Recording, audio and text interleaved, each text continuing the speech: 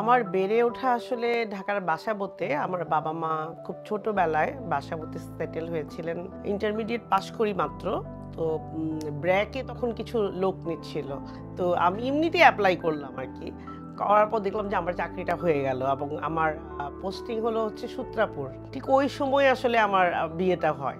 আমি যখন ওই সময় সাংবাদিকতায় ঢুকি, আমি হচ্ছে সবচেয়ে ছোট ছিলাম।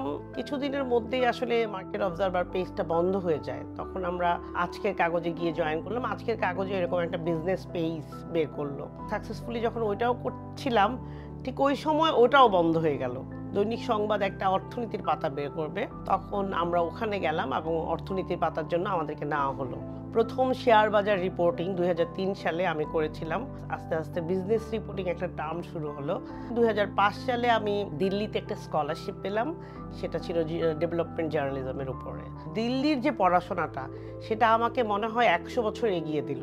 এর মধ্যে আমি এনার্জি রিপোর্টিং শুরু করলাম। প্রতিদিন আমার বাইলাইন যাচ্ছে এবং আমাকে আর সংবাদের হয়ে পরিচিত হতে হচ্ছে না। দেখলাম যে আমাকে নামই সবাই চিনছে এবং ওর মধ্যে আমি দুই সালেও বা আমেরিকাতে ওবামার ইলেকশন কভার করতে গিয়েছি, বিভিন্ন সার্ক সামিট কভার করতে গিয়েছি ইউএন অ্যাসেম্বলিতে আমেরিকায় গিয়েছি এবং দুই হাজার দশে আমি প্রধানমন্ত্রীর সাথে ভারত সফরে উনি গিয়েছিলেন। আমরা একদল সাংবাদিক ওইটা কভার করতে গিয়েছিলাম এবং আমি পঁচিশ তারিখে ঢাকায় ফিরে আসি এবং এসে আমার বাবাকে দেখে দেখে এসে আমি জাস্ট বাসায় আসলাম এবং সকালেই আমি শুনতে পেলাম যে আমার বাবা ঘুমের মধ্যেই মারা গেছেন।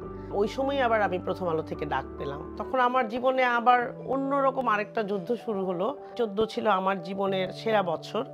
চোদ্দোতে আমি সবচেয়ে ভালো রিপোর্টগুলো করেছি, চোদ্দোতে আমি সবচেয়ে আলোচিত রিপোর্টগুলো করেছি।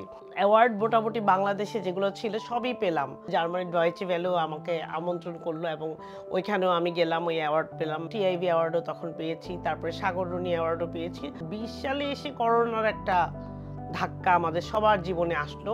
তো স্বাস্থ্যের রিপোর্টের সময় আমি আসলে পাগলের মতো হয়ে গেছিলাম। তখন টিকা ফুরিয়ে যাচ্ছিল হ্যাঁ ওই রিপোর্টটা আমি প্রথম করেছিলাম যে আমাদের আসলে টিকার মেয়াদ মানে ফুরিয়ে যাচ্ছে। দু হাজার একুশ সালের এপ্রিল মাসে আমার উনিশটা লিড ছাপা হয়েছিল এবং এটা মনে হয় আমার জীবনের রেকর্ড। প্রথম আলোর মতো পত্রিকায় এক টানা সচিবালয় যেহেতু থাকি, সচিবালয়ে আমি টিকাটা দিলাম, দিয়ে আমি স্বাস্থ্য মন্ত্রণালয়ে গিয়েছিলাম। তখন বলা হয় যে আমি তাদের নথি নিয়েছি এবং আমাকে ওইখান থেকে গ্রেপ্তার করা হয় এবং আমি আর ওই যে গেলাম আমি কিন্তু বাসায় ফিরতে পারিনি। সারা বাংলাদেশ এটা নিয়ে প্রোটেস্ট করেছে। আমাদের সাংবাদিকরা সবাই যে পুলিশ স্টেশনে যে প্রোটেস্ট করেছে এবং আমাদের, আমার কলিগরা বলে যে বাংলাদেশের ইতিহাসে পঞ্চাশ বছরে কোনো সাংবাদিকের জন্য এইভাবে মানুষ ডেমনস্ট্রেশন করেনি, এইভাবে রাস্তায় দাঁড়ায়নি।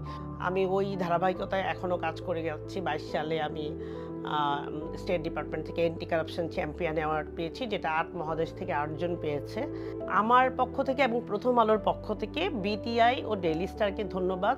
এত সুন্দর একটি অ্যাওয়ার্ড দেওয়ার জন্য এবং যাদের হাত থেকে অ্যাওয়ার্ডটি নিয়েছি সেটাও আমার জন্য অনেক প্রেরণাদায়ক। আমি আশা করব যে বিটিআই ডেইলি স্টার এভাবে মানে সব সময় আমার পাশে থাকবে।